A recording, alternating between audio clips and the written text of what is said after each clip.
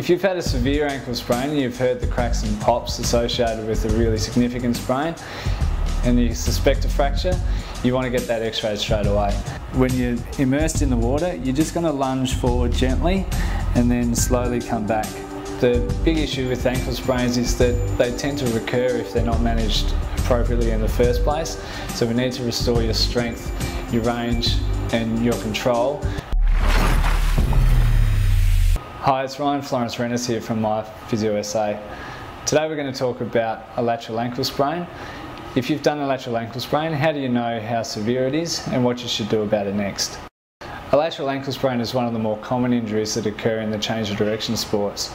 It might occur when you push off to change direction sharply or potentially even when you land on someone else's foot. They can be associated with a crack or a pop when the ligaments on the outside of the joint are stretched, when the ankle rolls inwards. You might feel pain all through the ankle, but most of the pain is focused on the outside and swelling will often occur reasonably quickly after an ankle sprain on that lateral side. It can often be really difficult to grade how severe your ankle sprain is, but here's a few tips for you just to think about in the future.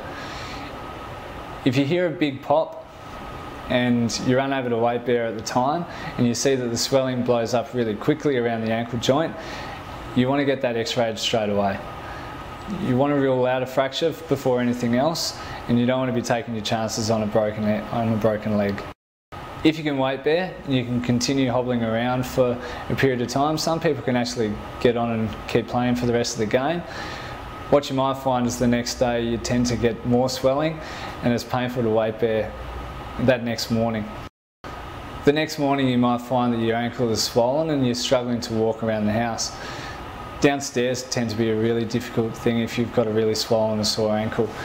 These are the ones that you want to give the physio a call on the Monday just to make sure that you can actually get back to training and do the things that you want to do as soon as you can.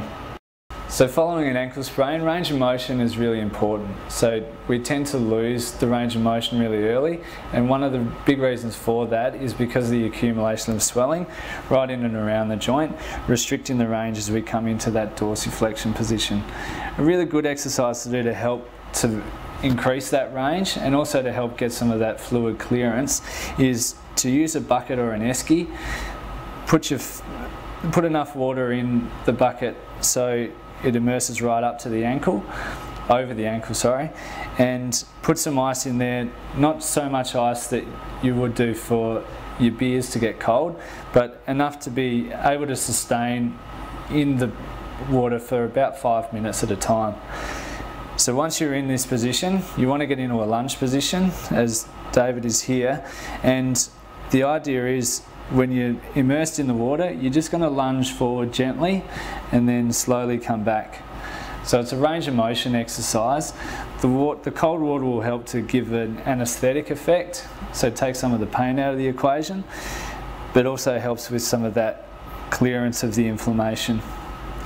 If you've had a severe ankle sprain and you've heard the cracks and pops associated with a really significant sprain, and you suspect a fracture, you want to get that x-ray straight away. If you can wait until Monday, after your swelling's increased and you feel that you're getting a bit stiff, come in and see us at My Physio SA and our physios will expertly assess your injury and make sure that you're getting back on track as soon as we can.